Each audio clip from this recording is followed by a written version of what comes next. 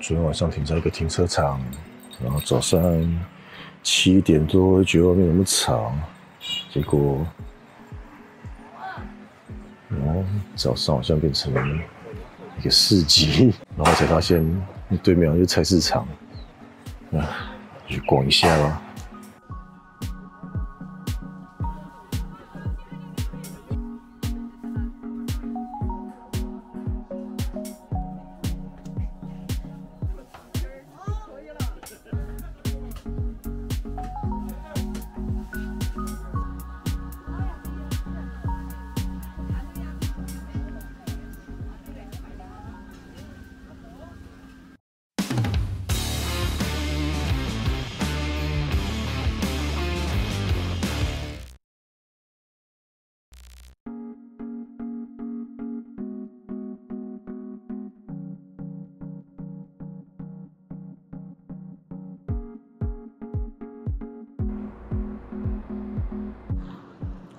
啊，昨天下午到攀枝花，啊，攀枝花也是个山城，跟重庆很像啊，路上下下的，开车超难开，呃，怕黄灯起步人怕熄火，啊，只是这边人口密度好像没有像重庆那么高啊，所以没那么多建筑物穿来穿去的，没那么魔幻。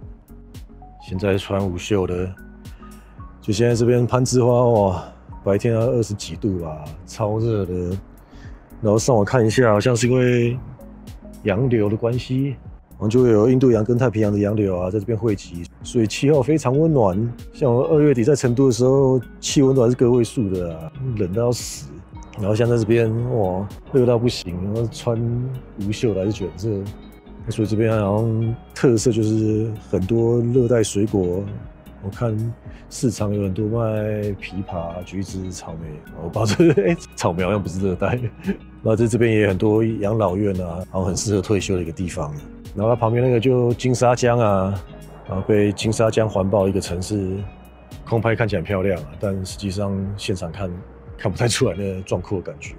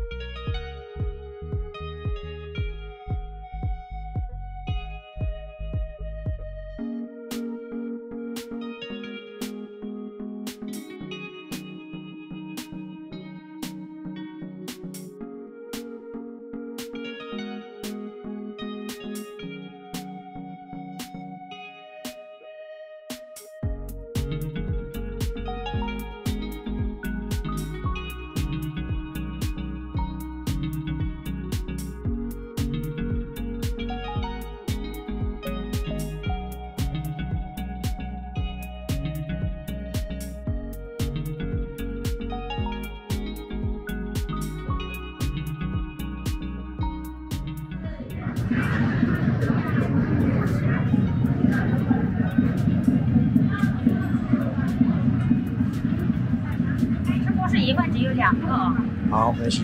那就给你四四个，四个味道而已。啊，是。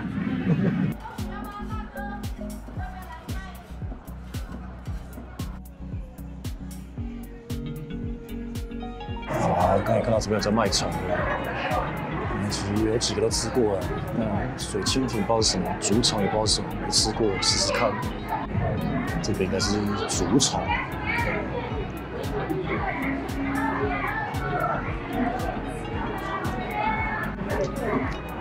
酥酥脆脆的，你吃出来什么特别的？马蚱，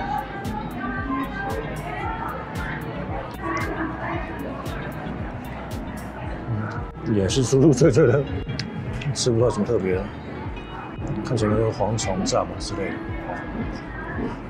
还有蚕蛹。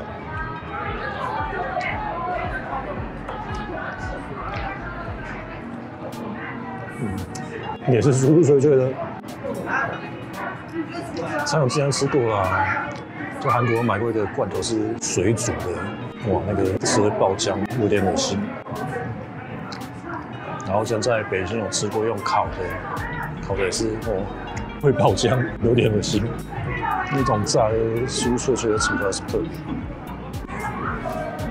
水清甜，就他刚 menu 上面写一份六十五啊，问他们小份啊，然后小份的三十五。他说小份的话，这个只有两只还是三只？我想我也不想吃那么多。嗯，一样也是酥酥脆脆的，嗯，预料中的一样，也都酥酥脆脆的，没什么特别。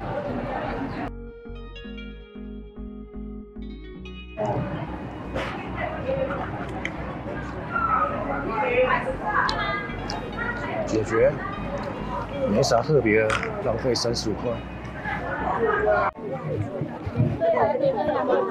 给你拿十块钱哦，四个都八块了，给你十块钱。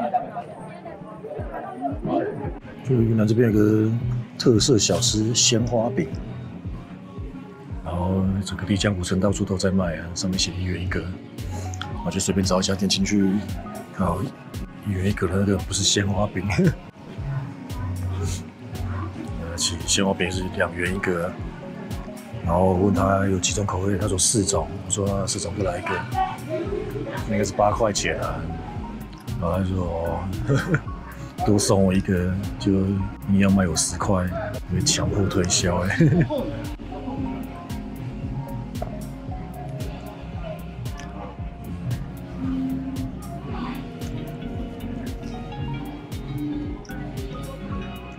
就像老婆饼啊、太阳饼那种酥饼，然后中间的馅是有包馅玫瑰花的，还不错吃啊，没有太甜，然后玫瑰味也没有太重。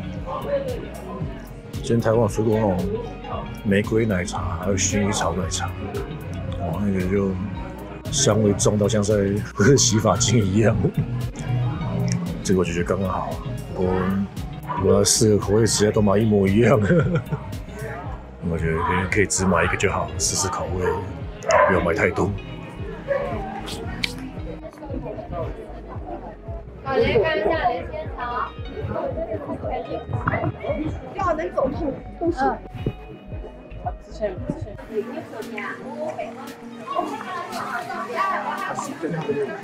太长了。嗯啊，幸运糕不知道什么东西啊，嗯，无法形容的口感。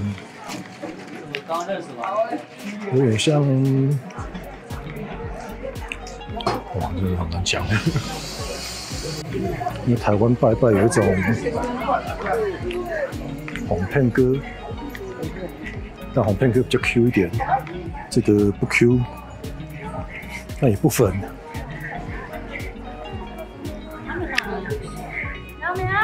嗯，这点淡淡的甜味。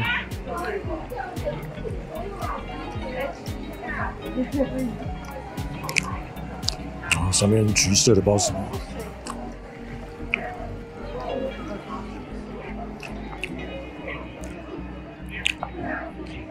不知道，甜甜的。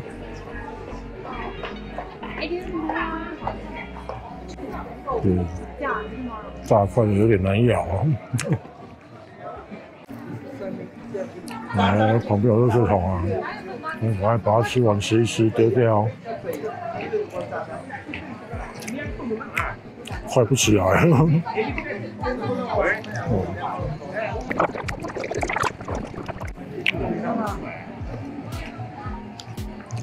个很好打发时间的零食。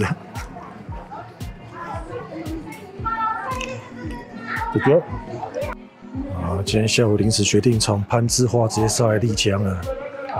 嗯，到的时候大概下午六七点。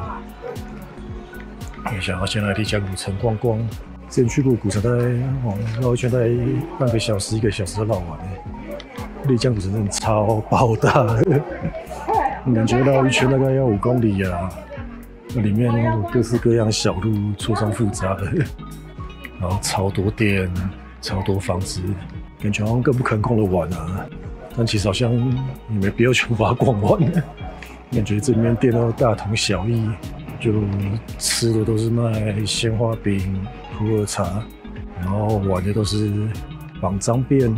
旅拍，然后里面有一个很妙的现象，就这边的餐厅 LED 灯装越多话，生意越好。能看到有一些没装那么多灯的，生意就没那么好。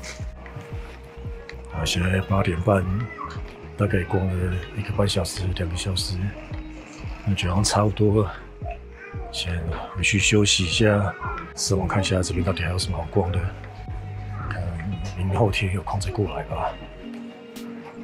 先这样。